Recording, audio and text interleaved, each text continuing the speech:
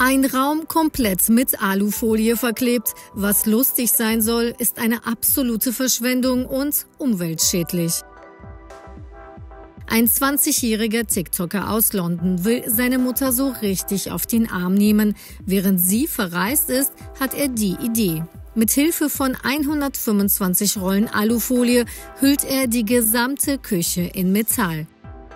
Jeder einzelne Gegenstand, von der Banane auf dem Küchentisch bis zum Fußboden, wird silbrig glänzend bedeckt. Der Raum erinnert so eher an eine futuristische Raumkapsel oder ein Psycholabor als an ein gemütliches Esszimmer.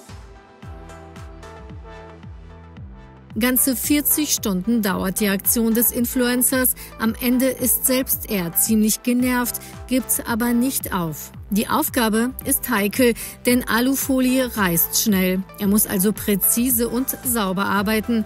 Kosten 260 Euro.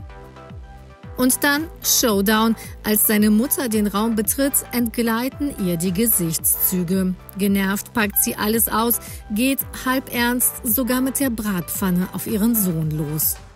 Der Clip entfaltet auf TikTok mit nur knapp 40.000 Klicks nicht die erhoffte Wirkung. Die Meinungen sind geteilt. Während die einen die Aktion feiern, sind andere verstört über so viel Ressourcenverschwendung. Der Influencer verspricht zwar, die Folie zu recyceln und bei Kunstprojekten zu nutzen, wie das aber gehen soll, unklar. Diesen Streich hätte er sich also wirklich sparen können.